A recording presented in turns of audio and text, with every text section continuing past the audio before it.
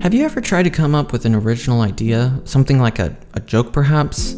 It's, uh, it's actually pretty hard. So, in my struggles, rather than blindly trying to come up with jokes, I started to look for a process. What is a joke, and how do people come up with jokes? It really only led to a bunch of generic findings. A joke is when you defy expectation. A joke is the relief of stress, and laughing is communicating to others that this situation isn't dangerous. Which is like, wow, amazing, very helpful. Now, back to actually coming up with a joke, please. Of course, it's not just about coming up with a joke, because what is a joke? It's simply an idea that makes people laugh. So, a key to understanding how to come up with an original joke is to figure out how to create an original thought or idea.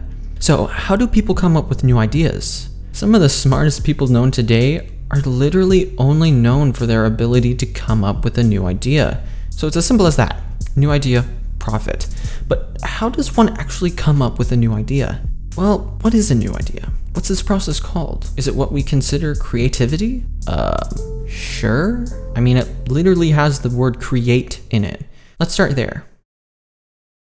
The ambiguity of language, perhaps, might be the secret to creativity. Have you ever played a game where you whisper something around in a group and it passes around, and by the time it reaches the original person, it's basically an entirely new sentence? Basically, this. Where did that new sentence come from? This is amplifying the effect of misinterpretation, but it's this act of misinterpretation that new ideas can form. Alright, pack it up, boys. We solved it. Who would have thought that the mistakes and interpreting things wrongly would have been the secret to new ideas? It's really interesting insight into language, how an idea from one person's head is condensed into words, which can be communicated to another person who decodes those words and transforms them back into an idea.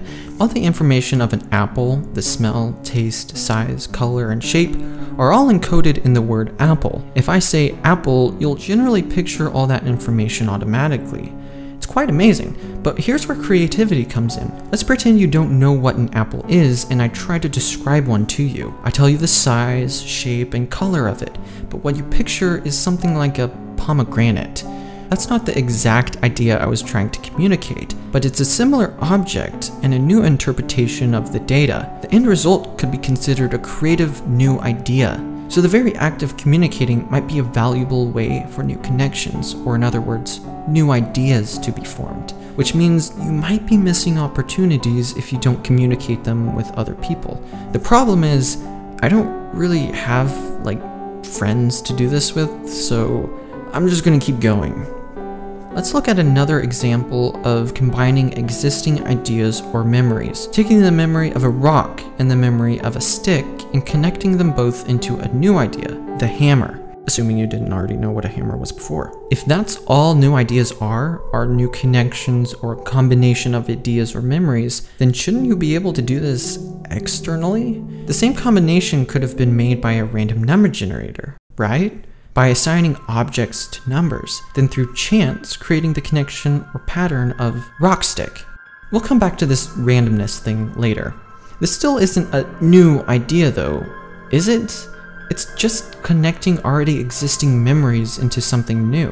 What about new ideas? Like something truly new, something in tune with Einstein's theory of general relativity.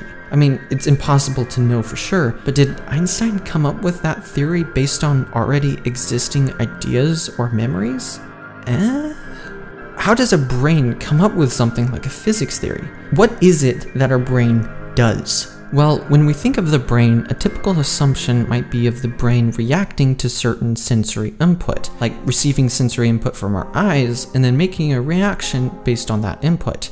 It makes sense at first, but that's probably not the case. Instead, let's think of the brain as predictive instead of reactive. The brain has to solve an inverse inference problem, where it tries to guess the cause based on the effect. Your brain is in a dark box, which is your skull. If your light sensors are showing you this, what is the cause that is affecting your eyes to send these signals? Whoa.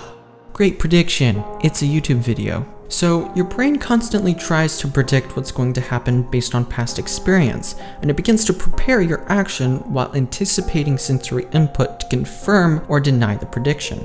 If it's confirmed, then it executes the plan of action, but if it's wrong and it receives something unexpected, it changes the plan of action and in the process learns and updates its internal model so it can make a better prediction next time. This is sort of what artificial intelligence is doing. It's taking a set of initial conditions and making a prediction of the outcome. As it turns out, this method is significantly less computationally demanding.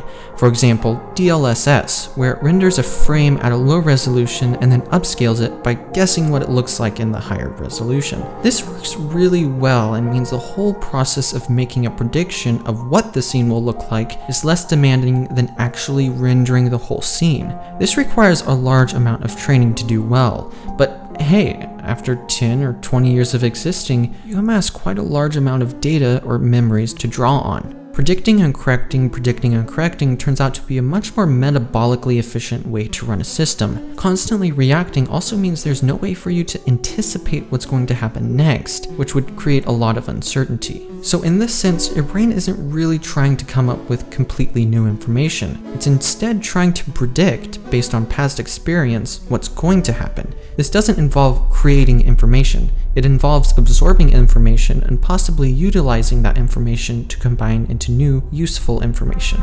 Basically, if this plus this equal this, then what?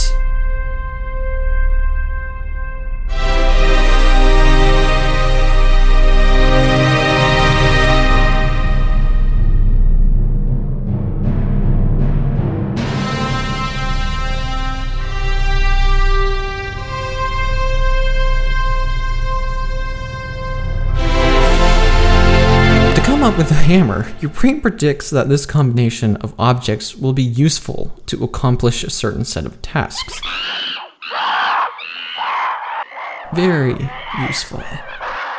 Now that we generally know how the brain operates and know that the brain doesn't really create information, but instead combines it and mixes it together to form new connections, we can move back to random number generators our brain actually has a similar mechanism where neurons stochastically fire, creating noise or randomness. This actually has several ways it benefits the brain. It helps in decision making, it makes you more alert and react quicker, as well as helping with, you guessed it, creativity. Let's imagine two landscapes. One is a large mountain range with deep valleys, and the other is a much tamer landscape with gentle hills. Our brain networks are similar to these landscapes. Our thoughts, decisions, and memories are like valleys. These valleys are strong neural pathways creating an attraction, and the hillsides surrounding the valleys act as a basin of attraction. Similar to how water will flow down the side of the mountains, neuron signals entering the basin of attraction are directed towards the bottom of the valley. What happens when you recall a memory is an association or seemingly random input signal can happen in a basin of attraction. As the signal flows down the hillside, the memory is recalled and even potentially strengthened. Here is where things get interesting. The neurons in your brain are constantly sending spontaneous signals, in an average group of neurons, there are around 10 spikes per second, whereas neurons in an attractor state, the firing rates are higher. This means that although you might be attracted to the active neurons making all the noise, that it's possible that a random neuron somewhere might direct your attention towards it and form a new connection, letting you travel from one valley, or memory, to another valley, thus making a new connection or a new idea. Now, remember how I said there are two landscapes, the mountains and gentle hills. These represent different signal to noise ratios and describe what Barbara Oakley referred to as the focused and diffused mode of thinking. In focused mode, the valleys are deep and it makes it hard to travel over the mountains to get to a different valley, whereas in diffused mode, it's much easier to cross the small hills. Therefore, random and spontaneous firings make it much easier to bring you from one basin to another. You can deliberately try to defocus and enter the diffused state, oftentimes taking a shower, washing dishes, or laying in my bed work to bring me from the mountains to the small hills.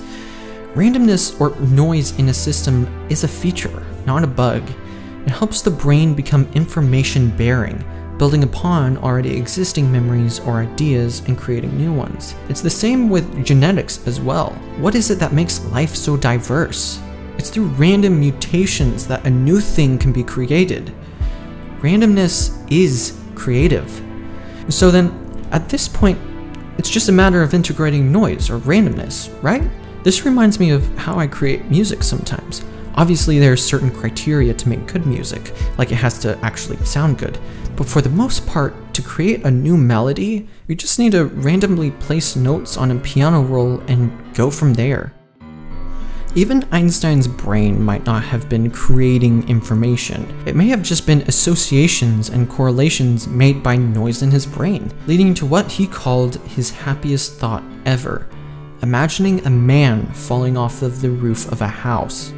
This idea then led him to his theory of gravity and general relativity. It's easy to point out how obvious it was after the connection has already been made, but it seems as though Einstein just made a few connections with the pre existing ideas or memories, like of a falling man, to come up with a new idea about gravity.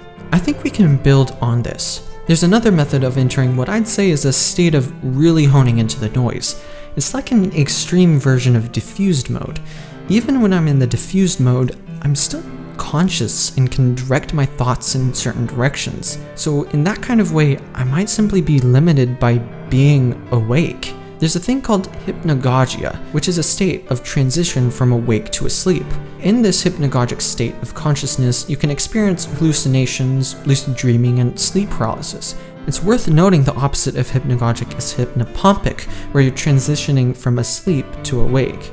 I think being in a hypnagogic state leads to effortlessly tuning into the noise. Similar to when you're dreaming, you just go with the flow, not really in control of what's happening. A lot of geniuses and creative people describe using this hypnagogic state to come up with ideas. Beethoven, Richard Wagner, Walter Scott, Salvador Dali, Thomas Edison, and Nikola Tesla have credited hypnagogia with enhancing their creativity, sometimes going out of their way to enter hypnagogia regularly, like Thomas Edison, holding a metal ball in his hand so that when he falls asleep, he drops it, resulting in a noise waking him up. This results in going into a hypnagogic state and then directly coming back out of it, which allows you to try and bring back some of those thoughts, instead of being forgotten like most dreams are. Salvador Dali used a similar technique substituting the ball with keys falling onto a plate. Even Isaac Newton claimed to have solved physics problems in similar states of daydreaming. Da Vinci might also be an example. With his unique sleeping schedule, it makes one wonder if that had an influence on his creativity. But wait, how can we forget Einstein himself? Supposedly, he too used this method similar to Dali and Edison, using a pencil to wake him up. But alas, the articles making these claims don't cite sources, and searching for myself, I couldn't find anything providing substantial proof. It's quite popular, so maybe there's some credence to it, but it could also very well be hogwash. Now, at this point, maybe I'm just picking examples to support my statements. Maybe there actually was something special about Einstein's brain that allowed him to come up with a new idea, but I think my original notion of new ideas is false. I don't think anybody really comes up with a new idea, at least in the sense of creating information from nothing. New ideas are simply the combination and new interpretation of old ideas, and I think it might be as simple as that. Anyway, farewell guys, I love you.